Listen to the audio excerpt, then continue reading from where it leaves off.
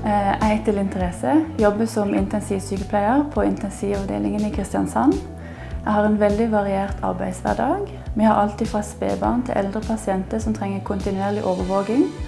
Det gjør at jeg eh, må tenke framover, være veldig på og vurdere den behandlinga som blir gitt. Eh, Det gir meg veldig yrkesstolthet å få være en del av denne avdelinga og denne behandlingsformen. Og jeg håper at flere vil søke til intensiv i framtida.